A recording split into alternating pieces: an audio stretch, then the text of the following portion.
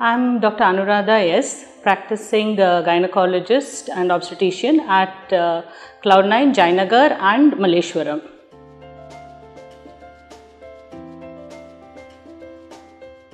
Bariatric surgery will be useful definitely in women who are uh, having a body mass index of over 35 uh, because uh, losing weight only through exercise and diet may be a, a Herculean task for these women.